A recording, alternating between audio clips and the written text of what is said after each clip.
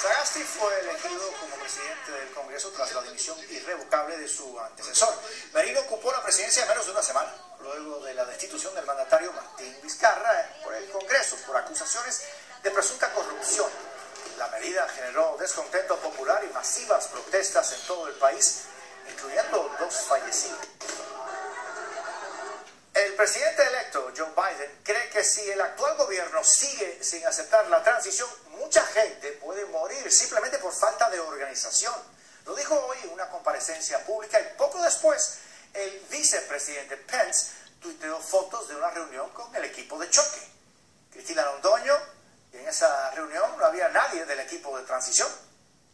Así es, José, no había nadie, brillaban por su ausencia. Aquí tenemos las fotos que publicó el vicepresidente Pence. Tampoco vemos al doctor Anthony Fauci ni al presidente Donald Trump.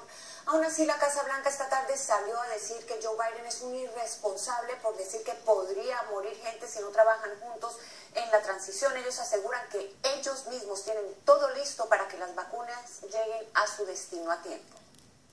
To obstruct and delay a smooth transfer of power. More people may die. Más gente puede morir si no coordinamos, dijo hoy el presidente electo Joe Biden, ante la negativa del presidente Donald Trump de reconocer su derrota e iniciar un proceso de transición que evite interrupciones en la lucha contra la pandemia. How do we get over 300 million Americans vaccinated? What's the game plan? It's a huge, huge, huge undertaking. Todavía parapetado en la Casa Blanca, el mandatario sigue defendiendo una victoria que insiste es suya y atacando la integridad de las elecciones. Biden no ha sido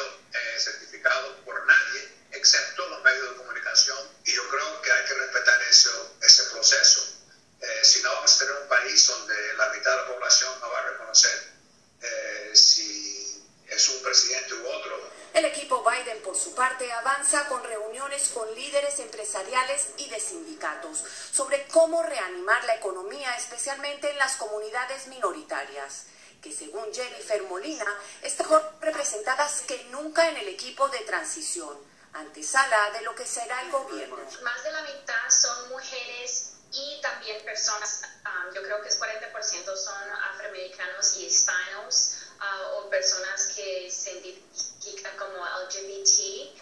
Pero mientras la mayoría de los republicanos continúa en silencio o dándole su apoyo al presidente Trump, su asesor de seguridad nacional prometió que si el equipo Biden-Harris es certificado ganador, tal y como parece, tendrán una transición profesional y de altura.